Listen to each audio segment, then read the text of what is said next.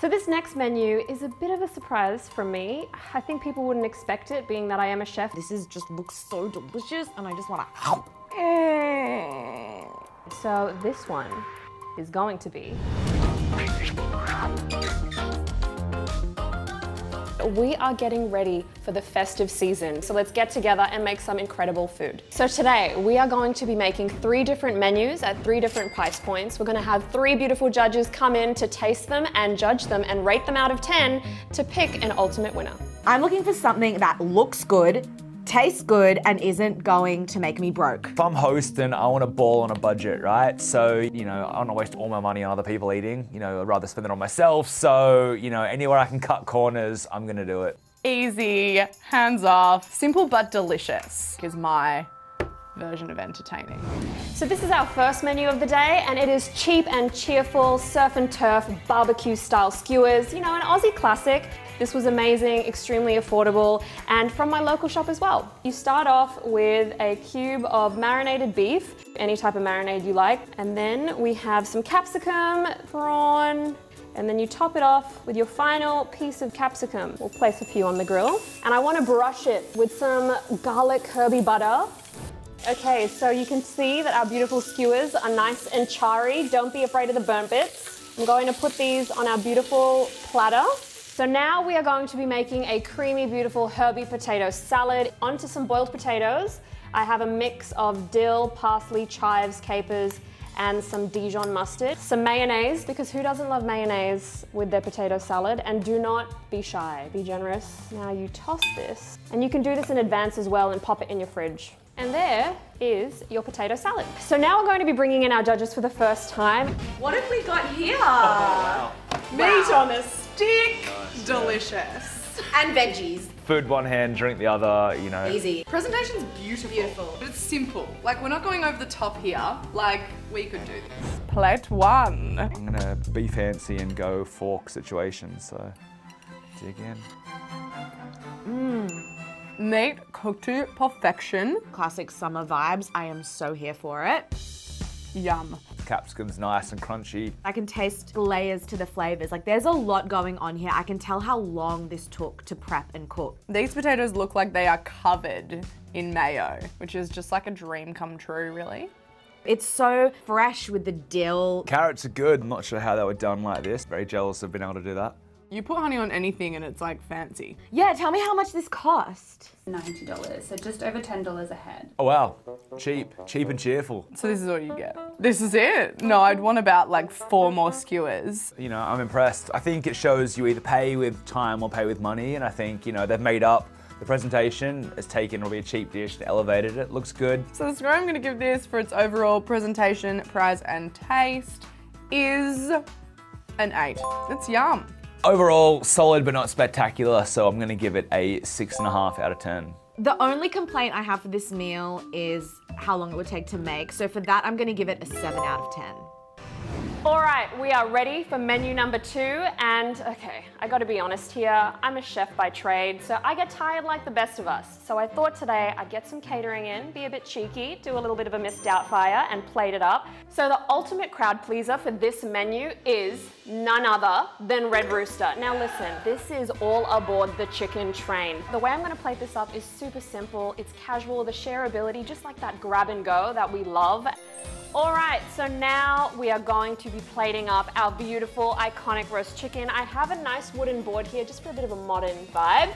So, ooh, oh my God. The actual centerpiece of this beautiful menu, the roast chicken, our hero dish. Can you imagine?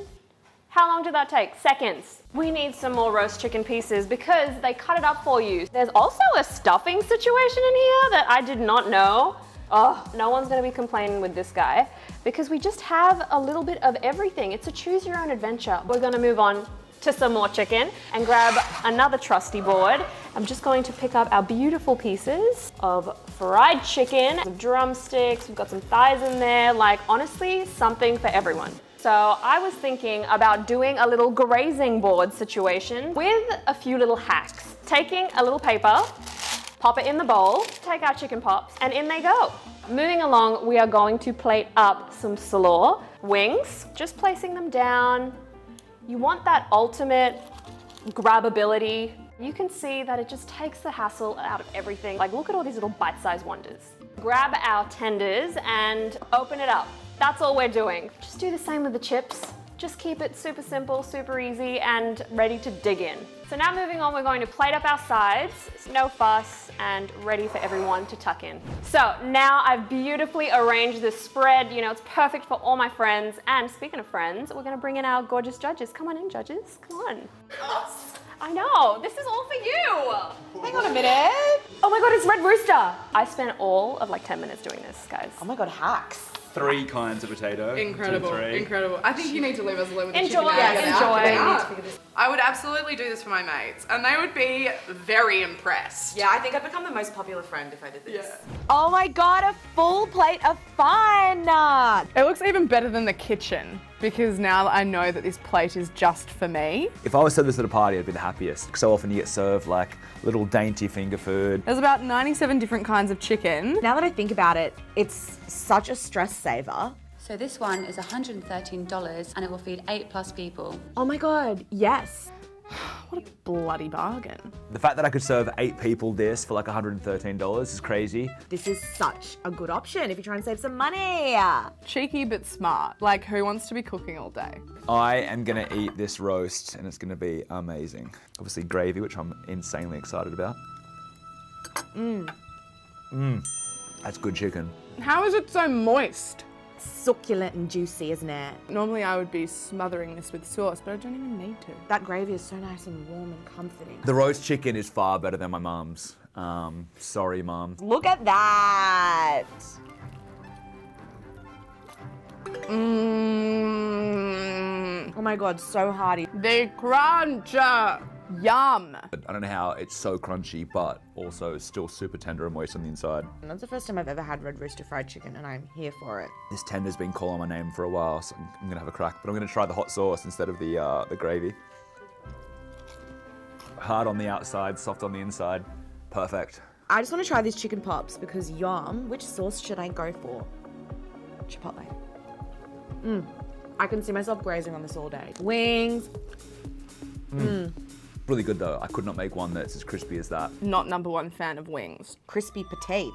A little herby mayo situation. Maybe don't put the whole spud in your mouth in one go. Coleslaw, yum. Mm. It's coleslaw. Compared to the first meal, this one definitely has more variety. So I'm gonna give it a 9 out of 10. Ismat's presentation was fantastic. It looked great. It made me realize that, you know, cooking and preparing foods for dummies. So, you know, buy it, make it look great, take the credit, enjoy. I've got to give this one a 9 out of 10, honestly. So because this gives you more options than the first, it's probably going to be more of a crowd pleaser. And it has chippies. I'm gonna rate this a nine. We have made it to the lucky last menu for today. It is the most opulent, bougie, luxurious Australian seafood platter, but elevated. We're going to be doing three tiers of beautiful seafood amazement. What else could you ask for? I got up at the crack of dawn. I handpicked all this gorgeous seafood. This was a big one, but it's a gift to your friends and family. You know, you've worked hard all year. Sit down, enjoy these three tiers. That's what this menu's about. So here are some Pacific oysters that are extremely meaty and they're going to be accompanied with some beautiful beetroot vinaigrette that I reduced. And on top of that is going to go some beautiful diced white peach, just some lime segments because lime is a good time. We're gonna go on to some beautiful bellinis, which I topped with some lumpfish caviar. And that's gonna go with a little bit of chives. And then we have some gorgeous salmon roe that's going to be topped with some dill, because dill and salmon match made in heaven. But this is my completed top layer that we are going to adorn in this stand right now. I mean, come on. Alrighty, we are ready for our second tier. This is just a beautiful prawn roll that has some apples, celery, mayo, tarragon. For the prawn rolls, there's a little bit of a trick to make it look like it's just like bursting with prawns, I like to empty out a little bit of the brioche bun and get our little lettuce baby on the side before you fill her up. This makes it look like you have tucked him into sleep and he is filled. Just look at how beautiful. It gives it some wonderful height as well. And that for me is just like a winner. Onto the scallops, I just put some garlic herb butter on top and I'm just going to garnish with a little bit more paprika, which we did cook them with, but I love a little extra hit. Now I also like to just dress this with a few little leaves here and there, just to give it nice little extra height. You want your guests to be able to see your scallops, so it's nice to have them propped up on something. And that is our second tier. Alrighty, we have our beautiful final layer, stunning garlic herby lobsters. So all I did was just generously brush it with some garlic herb butter and bake it in the oven for about 15 minutes. And there you go. Look at these juicy, juicy lobsters. And that is your final standout layer for this Big Mama Jamma. All right, we have our beautiful spread in front of us, guys, and we are going to just put the pièce de la résistance on top, which is gold leaf. I mean, come on now. What is more celebratory than a little bit of gold leaf on some caviar? So elegant. And that is the ultimate seafood bougie spread. I mean, look at this. I'm actually impressed myself, guys. I, I am. This is beautiful, and it is your seafood dreams on a platter. Okay, guys, please, please come on in. We've got a beautiful spread. For us? Yes, You yes. made this for us? Wow, oh. far out. My, the gold? Oh, oh my god, this is a feast of color. Much fancier than my family. It feels like Christmas is here early. It's like celebration personified Yeah. in food. Oh, what have I done to deserve this? Fancy pants. I find it pretty threatening. This is $500. $500. Jeez Louise. Like, are people going to appreciate that you spent $500 on them? I don't know. I can't imagine there'd been eight people I'd want to spend 500 bucks on. What am I gonna try first? I'll go for oysters. I love oysters. Oysters? We've never gotten along. Ah, yuck. Wow. That was kind of sweet, that beetroot. I'm so here for it. Tried so hard just then. Ah, oh, no, I'm, I'm gonna pass on the oyster, I reckon. I'm gonna save that for someone that'll appreciate it a little bit more than me. I have tears in my eyes. The shit I do for this company, I swear. So apparently this butter is like a bougie butter. That butter and bread is good. That almost tastes like cheese. Just comes out. It's just a fork full of lobster. Rich boy Josh coming up. Juicy. Yum. Yum. I'm not getting the hype, honestly. I think if lobsters were five bucks, no one would eat it. All of that, all the effort, all the cost, all the everything, getting it boiled alive just for that. Yeah, not not for me that. Now I'm gonna try this bougie caviar situation. Who eats caviar? We'll do it. Whoa. That's nothing like I've ever tried before. It's so weird. It wasn't bad. It pops in your mouth. That tastes salty like the ocean, but then creamy. I'm glad I've done it now. Big life moment ticked off. So now let's get into the scallops. These are so good. Like, mmm, melt in your mouth. That's a good scallop. Yeah, yummy. And then what is this? A prawn roll, yum. Prawn and bread, bring it on. Mm. Amazing. Not bad. You know, nice prawn, nice bread. Not as good as the first bread. Overall, the aesthetics are so lovely. The taste is just bougie, brilliant. The price, I just don't see myself affording this, so I don't think I can give it four marks. So for that, I'm gonna give it a 9.5 out of 10. This is delicious, parts of it. So it's better than the barbecue one. Maybe I obviously didn't like it as much as the Red Rooster one, so it's gonna be like an 8.5. Not a massive seafood guy, so unsurprisingly, it wasn't my favorite dish of the day. But I tried. You know, I'm sure I'm gonna get roasted in the comments, but I gave it a red hot go. I'm gonna give it a out of 10.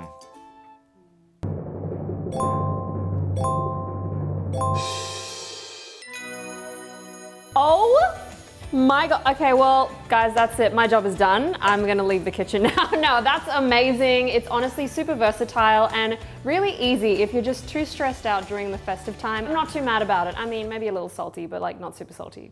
If you wanna see us do different menus at different price points, comment down below and like and subscribe.